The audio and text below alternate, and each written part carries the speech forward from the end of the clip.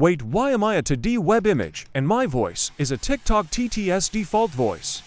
Oh my fucking god, is this one of those stupid Roblox stories? Hello, I am going to get Robux. Okay, I have never talked to you.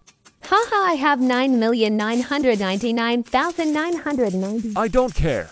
I'm going to change my avatar. I don't care. I'm going to join a fun game. Get asked to join a GC.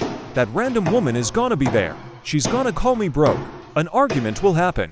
Yada yada. Then the odor aka online dating happens. Whatever, I'm just gonna join the game.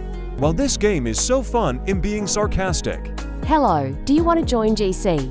I impolitely decline, but I have no choice as this is all scripted in Google Doc. This is my new friend Fish Egg Zanari.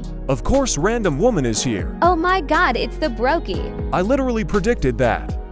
Ash, why are you here? To note, Hello, Kami. I'm guessing you're gonna online date random woman. How the fuck do you know this information? I just do Why are you insulting this toothpaste looking ass furry? Because they are broke. Ema go play Super Scuffle bye. Peace out. Emma, join Ash. But that's not a good reason. Everybody left, so why does it matter? You're such a fucking.